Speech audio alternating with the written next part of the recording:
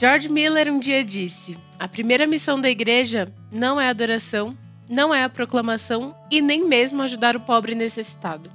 A primeira missão da igreja é morrer. E é sobre isso que a gente vai falar aqui no Clube do Livro de hoje.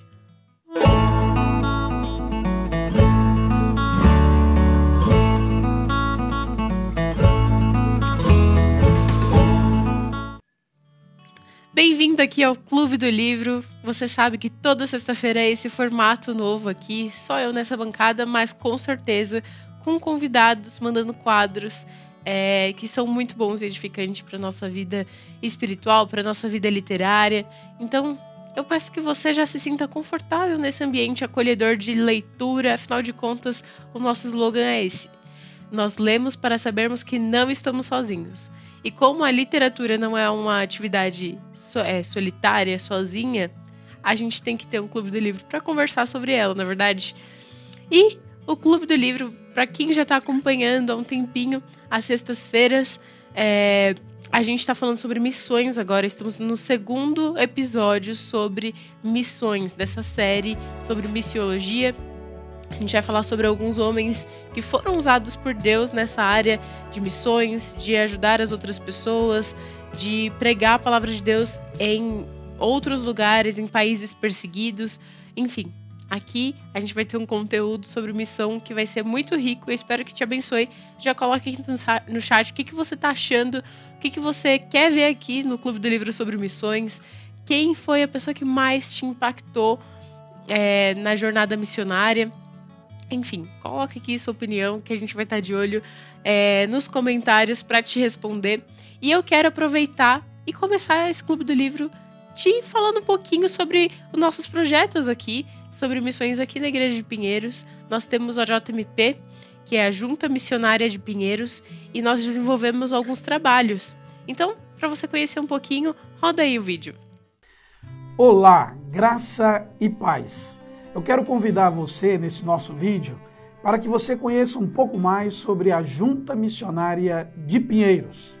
Criada em 2008, a Junta Missionária de Pinheiros é o braço missionário da Igreja Presbiteriana de Pinheiros.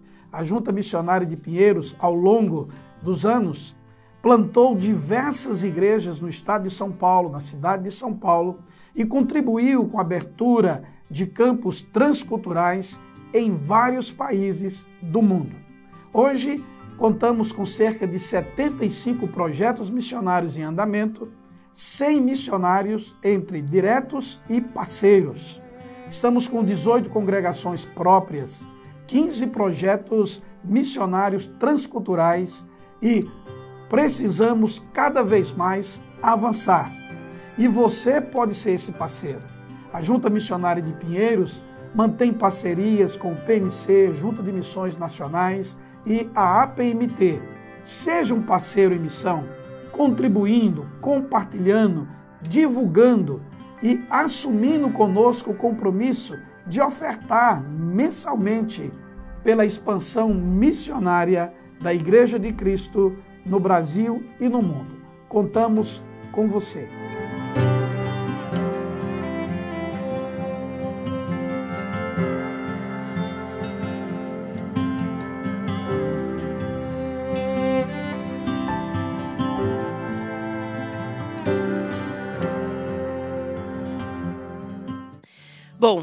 Agora você vai entender um pouquinho melhor sobre por que, que eu falei aquela frase do George Miller lá no comecinho, né? É a história desse homem que incentivou e, e trouxe à tona várias inspirações sobre missões para nossa vida hoje, para a vida de muita gente. É, e a gente tem um videozinho do Ronaldo Alidório falando um pouquinho sobre ele. Roda aí.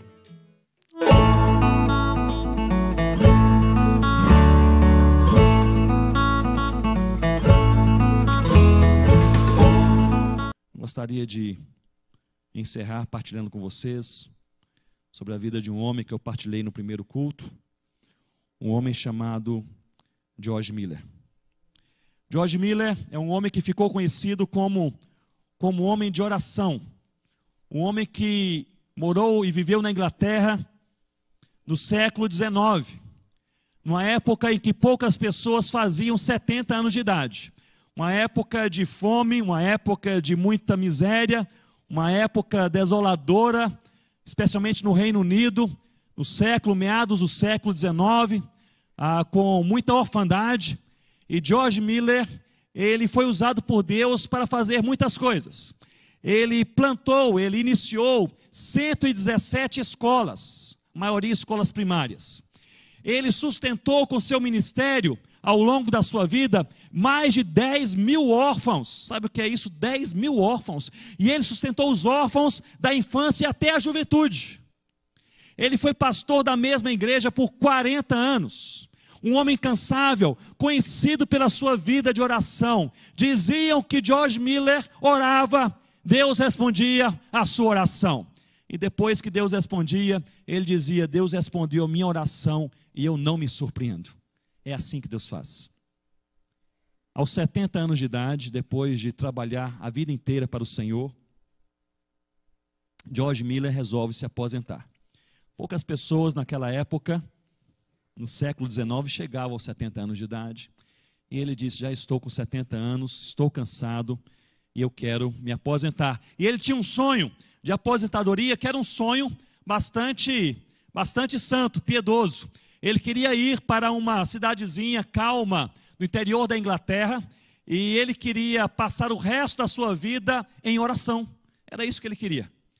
E ele entrou no seu quarto e orou, dizendo: Senhor Deus, esta é a minha vontade, mas eu submeto a minha vontade à vontade do Senhor. Em outras palavras, ele está dizendo: Mostra-me o caminho, o caminho eterno.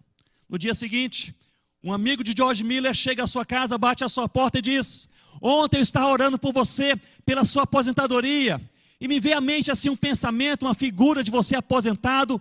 Eu não sei se é o que Deus colocou em seu coração. Se for, Deus vai confirmar. E George Miller perguntou: seria porventura eu morando em uma pequena e pacata cidade, numa casinha aconchegante e passando a minha vida, o resto da minha vida em oração? Ele disse: não, muito pelo contrário. Era você viajando o mundo inteiro, de barco, de navio, a cavalo, a pé, pregando o evangelho incansavelmente nos lugares mais difíceis. E ele disse: Bem, isso é tudo que eu não imagino fazer, mas se Deus me guiar, farei a vontade do Senhor. George Miller coloca-se em oração e diz: Deus é a tua vontade. E ele, ao longo de madrugadas, ele repetia esta frase: Deus é a tua vontade, é a tua vontade, é a tua vontade. Deus confirma a sua vontade. E dos 70 aos 87 anos de idade, George Miller se transforma num pregador itinerante. Nesses 17 anos, ele viaja por 42 países. E ele prega o evangelho a mais de 3 milhões de pessoas face a face. Dezenas de milhares se entregam ao Senhor Jesus, milhares se entregam ao ministério pastoral e missionário. George Miller volta para a Inglaterra com 87 anos de idade. Ele vive ainda mais seis anos, porque faleceu aos 93 anos de idade. Antes de falecer, um jornalista cristão lhe faz uma entrevista e diz: O Senhor, George Miller, é um ícone da nossa geração. O Senhor que fundou mais de 100 escolas, que sustentou mais de 10 mil órfãos, que viajou e pregou o evangelho em mais de 40 países. Qual é o segredo de George Miller? Ao que, que ele respondeu sem mesmo pensar. George Miller, ele respondeu: o segredo de George Miller é que George Miller já morreu há muito tempo atrás. E ele completa dizendo: Já não sou eu quem vive, mas Cristo vive em mim. Primeira missão da igreja não é a adoração. Primeira missão da igreja não é a proclamação. A primeira missão da igreja não é ajudar o pobre necessitado. A primeira missão da igreja é morrer para que Cristo viva em nós. Sempre o pastor Ronaldo trazendo coisas muito edificantes para gente. E olha, tem uma série de biografias que a gente vai passar aqui que ele fez, né, nos sermões dele. Então a gente vai passar aqui todo o Clube do Livro. Quem não, não assistiu semana passada, fique atento, porque foi sobre o Adoniran Judson. Então, com certeza vai ser edificante aí para você, vai ser muito bom. Eu quero falar umas curiosidades sobre o George Miller. Aqui para quem agora que foi a primeira vez que você ouviu sobre ele, eu quero trazer algumas curiosidades que eu separei aqui para vocês. Ele leu a Bíblia por mais de 200 vezes, sendo 50 delas de joelhos. E aí, quando perguntaram para ele o que ele mais gostaria de fazer ainda, ele, ele falou que era ler mais a Bíblia, pois ele conhecia pouco da excelência de Cristo. Ou seja, é um nível é, de, de responsabilidade que ele sentia a ponto de achar que, mesmo lendo mais de 200 vezes a Bíblia, ele ainda conhecia pouco a excelência de Cristo. E eu já quero lançar aqui o desafio pra gente. Quanto que a gente tem apreciado a escritura dessa forma? Quanto que a gente tem levado em consideração a, a Bíblia que a gente carrega, levado em consideração que ela realmente carrega tesouros infindáveis pra gente. Então, a vida do George Miller, é, ele é um homem comum, ele era um homem comum, só que foi um homem que foi disposto a ser usado por Deus. E da mesma forma, a gente pode ser usado hoje, essa intenção do Clube do Livro, da gente despertar esse olhar. A literatura pode trazer para a gente benefícios eternos. Então a gente pode usar a literatura e a própria palavra de Deus, que é uma literatura, para a gente ver como é a excelência de Cristo, para a gente viver essa excelência dele e viver como homens como George Miller, né? Como ele viveu. Ele fundou, outra curiosidade? Ele fundou vários orfanatos e cuidou de mais 10 mil crianças órfãs. Então, ele se baseou lá na promessa de, do Salmo 68,5, que fala que Deus é pai de órfãos, e a partir desse versículo ele começou a cuidar de crianças órfãs. Então, esse foi um legado que ele deixou, né? Ainda depois de um pouco mais velho, ele começou a fazer essa missão. Ele sempre cuidou dessas crianças, pegava as crianças que estavam em situação de rua, é, de desabrigo, e cuidava delas.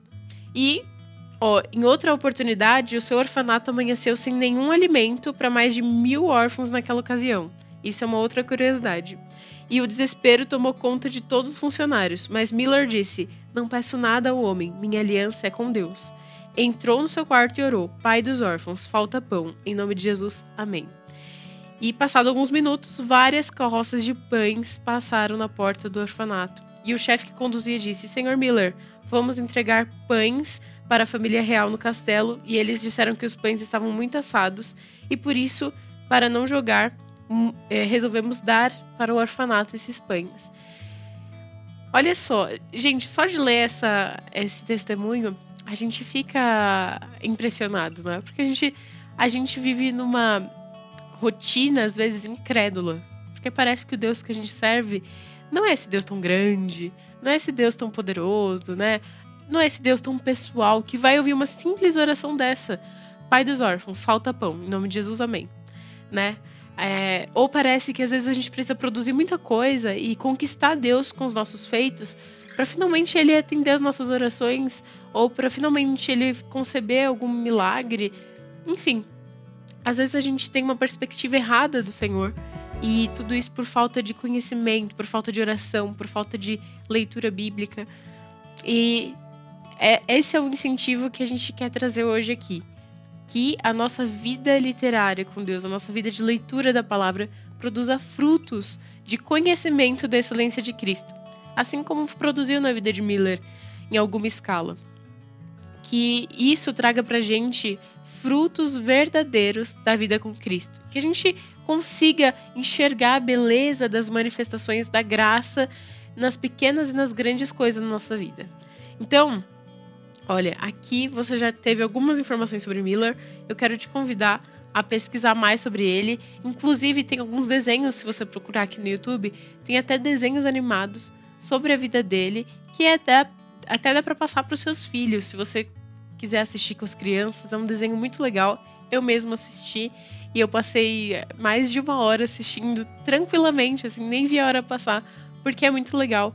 Porque deixa também uma, uma experiência de vida diferente da nossa e a gente consegue se inspirar, a gente consegue ver a beleza da manifestação do Senhor na vida das outras pessoas. E isso é muito importante para nossa vida e para nossa caminhada. Agora, é, que você conheceu um pouquinho da vida de George Miller, eu quero convidar você a entender um pouquinho mais sobre o processo de organização de leitura. Porque aqui no Clube do Livro a gente não aprende somente sobre a leitura em si, mas a gente aprende as ferramentas para ler. Então, qual a bela eu quero chamar para você aprender um pouquinho sobre essa vida de organização? Literatura e leitura precisa de organização? Roda aí. Eu não sei vocês, mas eu adoro um bom planejamento para a maioria das minhas demandas. E apesar de eu não ter um planejamento fixo para as minhas leituras, eu sei que muita gente gosta de ter. E isso pode ser bem mais fácil do que parece, olha só.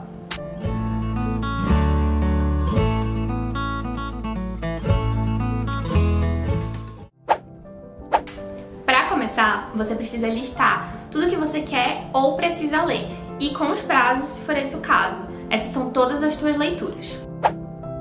Depois de montar essa lista, você sabe o que é urgente e o que não é. é. Além de saber o que você já tem em casa e o que ainda precisa ser comprado, né?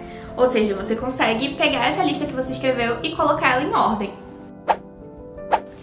Depois disso, é só partir para o calendário. É, o que tem prazos deve ser organizado para que você consiga terminar a sua leitura antes do prazo final, né? E o que não tem prazo está livre, são as leituras mais leves, então você pode decidir quando você quer finalizar ela. E aí organizar o teu calendário a partir dessas, dessas demandas e dessas necessidades. Gostou das dicas? Não esquece que se colocar num caderno, no bloco de notas no celular, enfim, você consegue riscando aquilo que você leu e aí a organização fica muito melhor.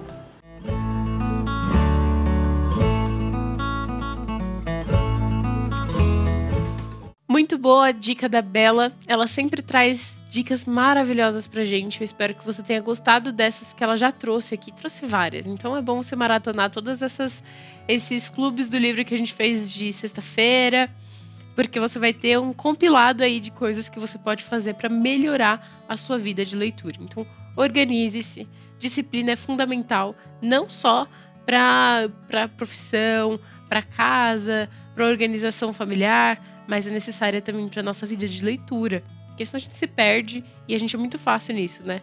A gente vai decidir priorizar algumas coisas e pode ser que a leitura a gente coloque lá para baixo. Então, quando a gente organiza a nossa vida, organiza a nossa leitura do dia, da semana, do mês, a gente consegue dar um grau de prioridade para isso e parar de procrastinar, né? Porque isso é uma desculpa muito frequente que a gente dá. E agora, é, eu sei que vocês gostam de, de dica de leitura. Hoje tem uma pessoa muito especial para dar uma dica para a gente, que é o pastor Felipe Quirino. O pastor Felipe trouxe uma dica, na verdade, daquilo que ele tem lido nos últimos tempos, e eu quero que você acompanhe comigo agora. Roda aí.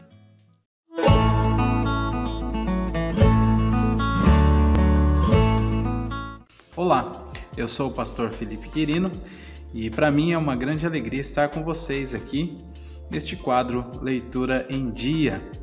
E eu estou lendo este livreto aqui, ó, a Origem da Idolatria, de Mauro Meister.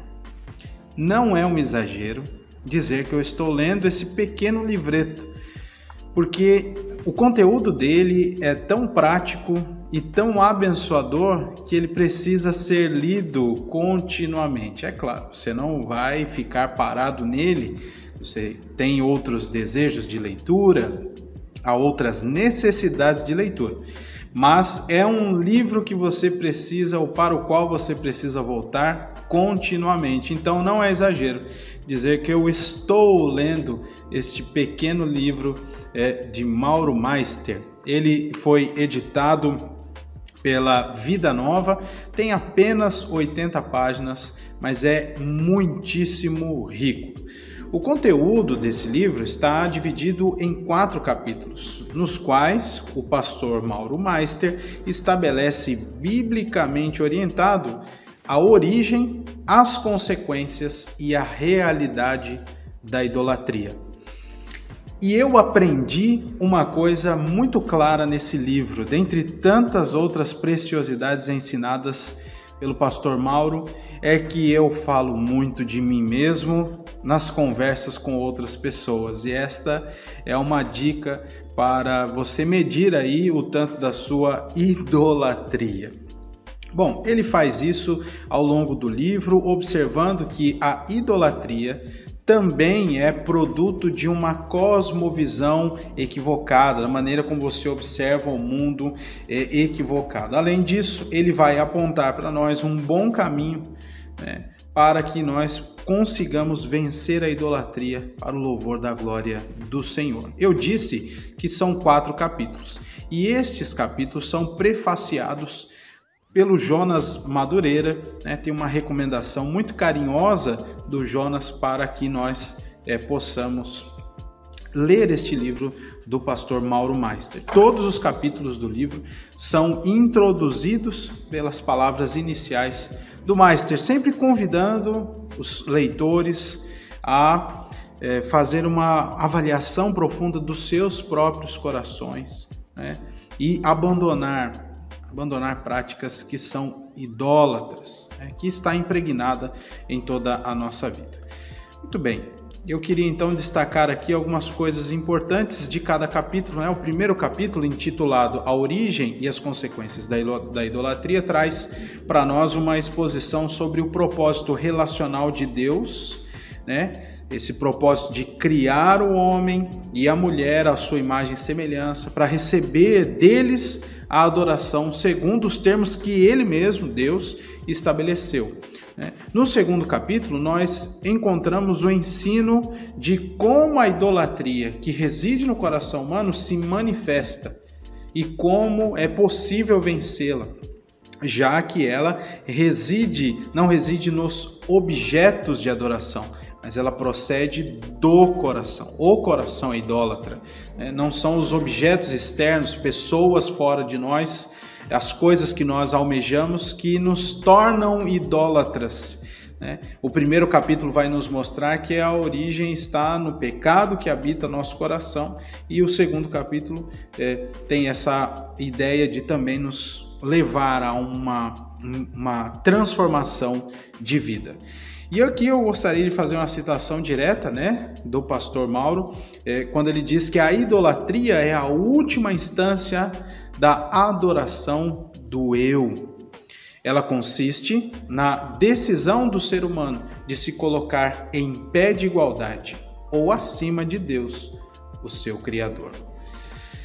Eu disse que você precisa ler várias vezes este livro e é verdade.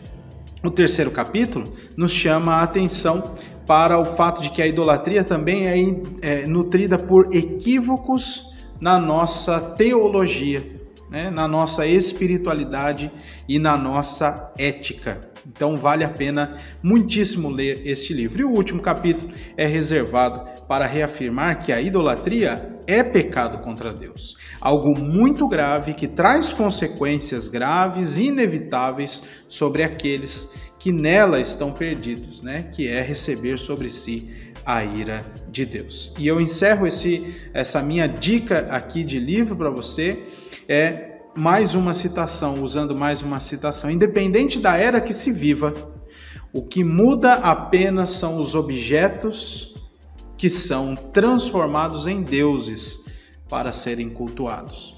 Eles estão por aí de uma ou outra forma, em uma ou outra era, vestidos de uma roupa e depois vestidos de outra roupa. O que muda apenas são os objetos. O homem é, foi criado para adorar a Deus, mas o pecado transtorna esta adoração, levando-nos a ser idólatras. Então, mais uma vez, fica a dica aqui para você ler A Origem da Idolatria do Mauro Meister e ler continuamente e ser transformado, porque este livro todo é baseado na palavra de Deus, que tem poder sim para nos fazer adorar o verdadeiro Deus. Um grande abraço e até mais. Deus abençoe.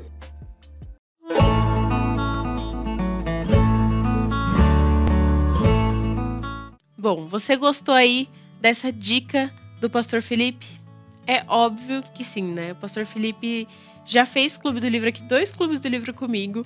Ele mora lá em Balneário e ainda assim veio para cá, gravou clube comigo. A gente tem aí sobre descontentamento, enfim, família. Você vai gostar muito. Procura aí na playlist do IPP Play. Clube do Livro, procura lá, Felipe Quirino, que você vai achar os dois clubes que ele fez. Um sobre o que é uma família, da Edith Schaefer, e o outro livro que é Descontentamento, Contentamento, enfim. Você vai achar aí esse título e vai ser muito bom para sua vida espiritual, vai ser muito bom para você entender mais sobre esse tema. Bom, agora a gente vai para o último quadro, o último quadro do nosso Clube do Livro de hoje, que eu sempre falo que é um dos meus preferidos, porque a gente tem uma perspectiva é, uma noção realista de como a gente enxerga os livros a primeira vez que a gente vê. A gente, a gente é chamado a atenção por aquilo que a gente vê na primeira instância, que é a capa. O que você vê na capa dos livros que você encontra na livraria? Por que, que você escolhe os livros que você vai pegar e manusear e ler a, contracapa, enfim? Por que, que você pega? O que, que chama a sua atenção? E a proposta desse quadro é essa: é julgar pela capa. É ver como que é a nossa perspectiva a respeito das capas que a gente vê. Então, roda aí.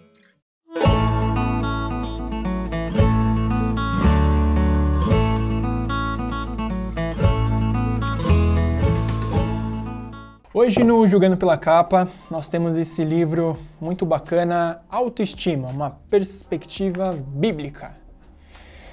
É... Ele pode falar sobre duas coisas ou sobre a nossa falta de autoestima e o que a Bíblia diz sobre isso, ou ele pode falar também sobre o nosso excesso de autoestima, é, o nosso lado egóico, é, essa parte do nosso ego muito inflado. Eu acho que fala sobre uma dessas duas coisas. Esse aqui é autoestima. Esse aqui é o pessoal que deve ter ego inflado, né? pro pessoal e também fazer, acho que deve ser um, uma mistura, né? Pra pessoa ter autoestima boa, mas também nem tanto, que aí, né? Aí é chato. Autoestima é uma perspectiva bíblica, esse livro que tem que julgar pela capa. É, olhando para o desenho da capa, eu acharia que é alguma coisa de iluminação, mas levando em consideração o tema, eu acho que ele vai nos ensinar a dosar a nossa autoestima para que a gente não, para que a gente seja humilde como cristãos o livro Autoestima, é uma perspectiva bíblica. Então, julgando pela capa, creio que ele vai falar sobre a autoestima das pessoas, mas pela uma perspectiva bíblica, entendeu?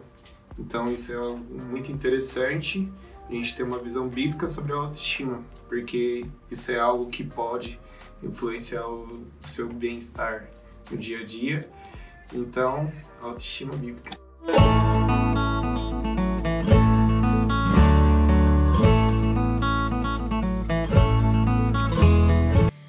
Bom, é, o Clube do Livro, ele já está se encerrando aqui. A gente já falou de muita coisa. A gente falou de missão, George Miller, falamos de organização literária, falamos de julgar pela capa, tivemos dica de, de leitura com o pastor Felipe.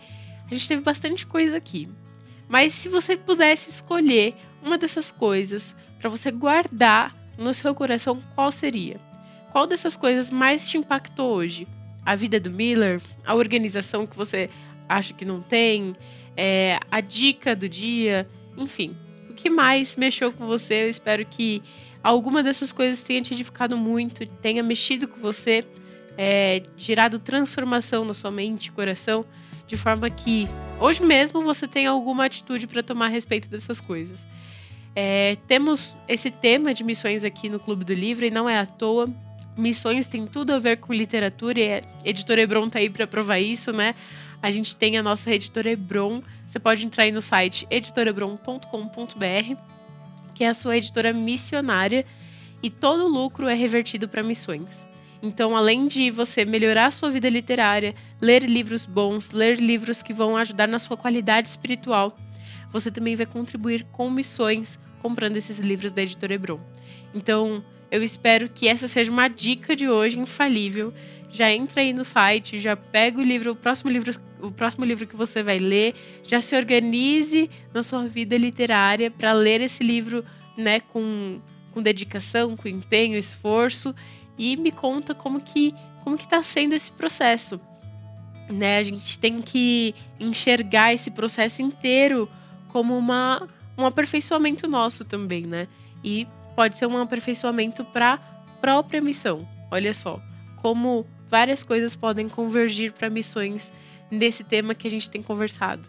Eu espero que é, o Clube do Livro tenha te incentivado a viver de uma forma íntegra, tenha te incentivado a viver uma vida missionária, uma vida para ajudar outras pessoas. Pode ser que o seu chamado não seja como o de Miller, de ajudar as crianças órfãs, mas pode ser de ajudar os índios, pode ser de para outro país, ou pode ser aqui no Brasil, pode ser no sul, no nordeste, pode ser aqui onde você está, mas que você cumpra o seu propósito como cristão, pregando a palavra do Senhor.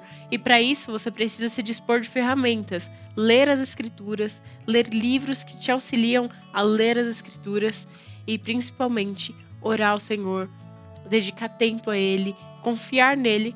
Então eu espero que o Clube do Livro tenha sido é, um canal para você refletir mais nisso e para você viver uma vida íntegra. É um chamado para mim, é um chamado para você e que esse canal da IPPTV tenha sido um canal muito abençoador para sua vida, para sua família.